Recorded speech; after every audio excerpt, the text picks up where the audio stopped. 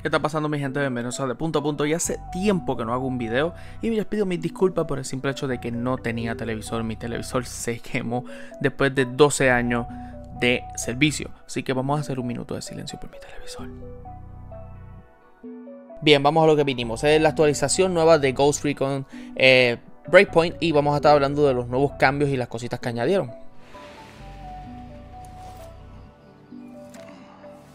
Parte de las nuevas cosas que añadieron, ¿verdad?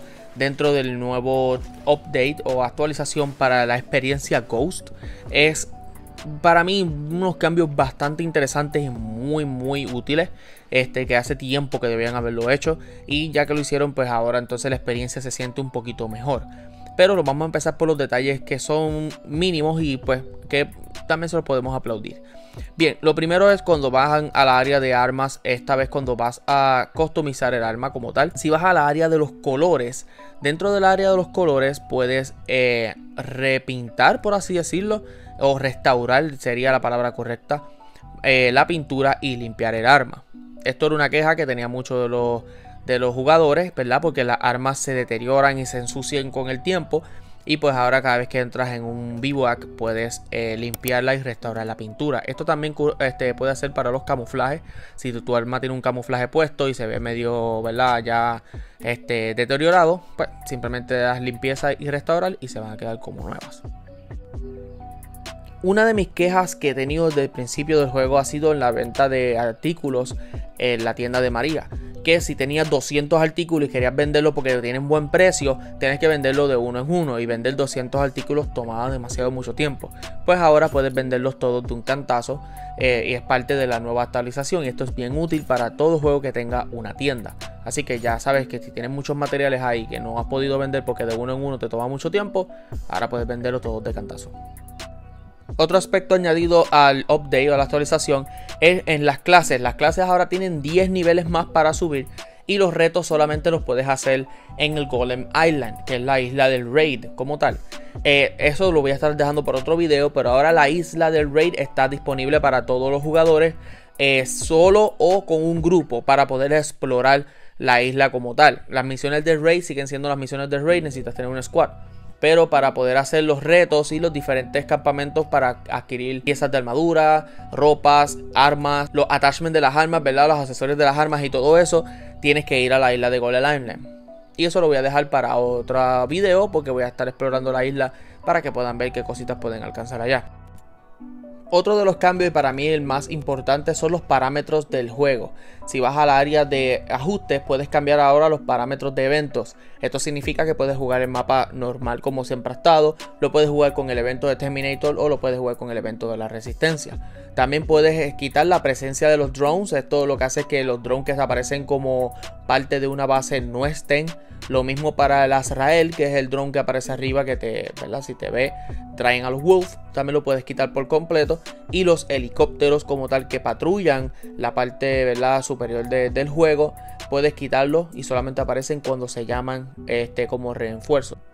Otro cambio lo puedes encontrar en lo que son los ajustes y es la parte de las jeringuillas que las puedes usar para subirte las vidas pero no te quitan las heridas eh, severas o puedes ponerlo para que te quite las heridas severas. Otra cosa también es la oscuridad en la noche, donde las noches son sumamente oscuras. Eh, y lo hace lo más real posible. Estos son buenos para ver la, experiencia Ghost. Otra cosa que cambia está en la parte de la interfase y es en las cajas, ¿verdad? Que dan como este brillo que hace como un highlight para tú saber que la caja está ahí. Eh, lo puedes remover por completo y eso te da más experiencia inmersiva porque así pues las cajas no brillan y te quitan de ese feel de, ¿verdad? Ese sentir de que es real lo que estás viendo. Y el último ajuste que te da es el de la asistencia al apuntar. Esto significa que ahora si tú apuntas a algún enemigo, este, pues obviamente la mira va a moverse con el enemigo poco a poco porque es la asistencia o la puedes quitar por completo y apuntar tú, ¿verdad? Con tu pulso y ser lo más real posible. Eso, eso es parte de la experiencia inmersiva de Ghost Experience. Uno de los cambios más importantes para mí, que es bastante útil, es en las ruedas de equipo que puedes cargar. Ahora puedes cargar dos adicionales y no se dividen por defensivos o ofensivos. Ahora puedes cargar cuanta granada tú quieras o puedes cargar eh, solamente cosas que te ayuden a, mejorar tu personaje, ya sea las raciones o sea la cantimplora para tomar agua, los binoculares y entre otras cosas. Eh, yo decidí cargar las granadas, eh, flashbang y los crackers para poder llamar la atención y cargar dos jeringuillas y los binoculares. O puedes cargar el blowtorch, que es la antorcha para poder cortar rejas, o entre otros. Los únicos que no puedes cambiar es el equipo de que es parte de la clase del personaje como tal, las vendas y la bala, ¿verdad? el casquillo pequeñito que ahora puedes tirar y llamar la atención con él. Otra de las cosas que añadieron es el cocinar las granadas. Cuando vas a tirar una granada, ahora puedes quitarle el seguro y te va a dar como si fuera un timer pequeño antes de que la granada vaya a explotar para que la tires y cuando llegue al, enemigo o a tu objetivo explote cuando tú quieres que explote. Esto era algo que tenían que haber hecho desde el principio del juego porque hay veces que tú le tiras granadas a los enemigos antes de la, actualización y ellos escuchan cuando la granada cae, se asustan, saltan y esquivan la granada. La mayoría de las veces era bien difícil matar a alguien con una granada. Pero con esta opción es bien útil porque puedes explotar a los enemigos o también la puedes usar en el flashbang. Quitarle el seguro, esperar un tiempo, tirarla para que entonces el flashbang explote en la cara del enemigo. Y como último, uno de los cambios que me gustó mucho para eh, cuando utilizas el squad del juego es eh, los comandos ahora son hotkey. Ahora no tienes que darle al triángulo para abrir el segundo círculo para escoger eh, el comando. Simplemente abres el círculo principal y usas el, el hotkey, ¿verdad? Que es en el directional button de, los controles.